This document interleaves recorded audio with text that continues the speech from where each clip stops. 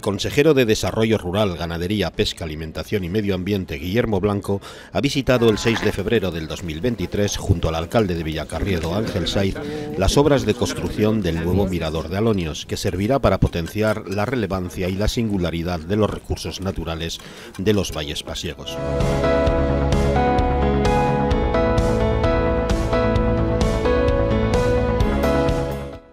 El proyecto constructivo de Mirador consistirá en el empleo de varios elementos que formarán un conjunto único con pleno significado,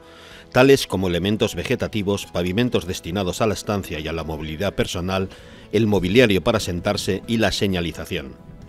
El mirador incluirá un panel informativo en el que se explicará el paisaje del Valle de Carriedo y cómo se construyó y ha ido evolucionando con el paso del tiempo hasta la actualidad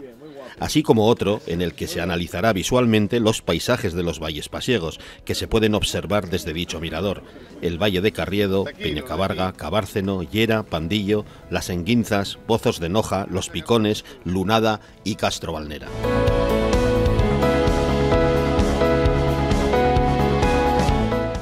Todo ello para explotar el potencial visual del paisaje con vistas panorámicas desde la ladera y mejorar la percepción y comprensión de los elementos con información sobre los valores que dan relevancia al paisaje y singularidad de los recursos naturales, culturales e históricos del entorno natural de los valles pasiegos.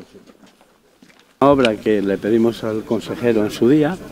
era el Mirador de Aloños, donde la gente del pueblo nos lo decía, ¿no? En el sobreancho que hay de la carretera de la parcelaria hay que hacer un mirador que se ve todo el pueblo y todo el valle de Carriedo, entonces pues tomamos esa iniciativa. Y se encargó un proyecto que le ha redactado Marcos Jallo, y bueno, pues aquí estamos con las obras iniciadas. Una inversión de un contrato menor, 50.000 euros aproximadamente, y esperando que se acabe para poder venir a la inauguración. Pues un hito, un hito de Aloños que para mí desconocido, que acabo de conocer hoy. Y es este mirador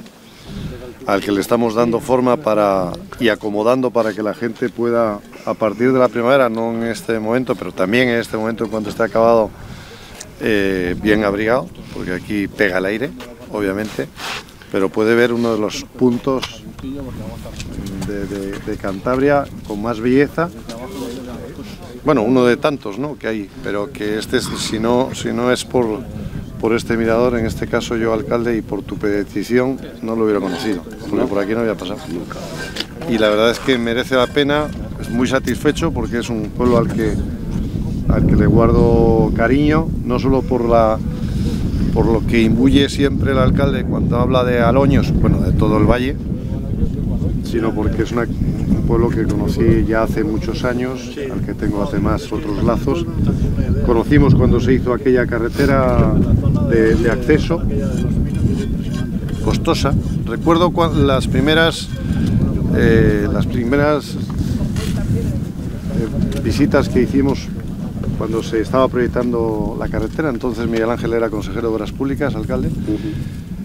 y la gente la preocupación tenía porque tenía que desprenderse de unos terrenos de, unos metros y no entendían muy bien por qué había que desprenderse. No, pues para darle seguridad a una carretera que era muy peligrosa,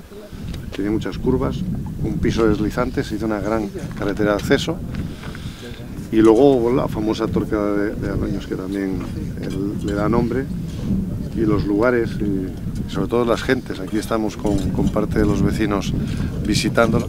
y para mí es un, orgullo contribuir al embellecimiento de una zona y sobre todo para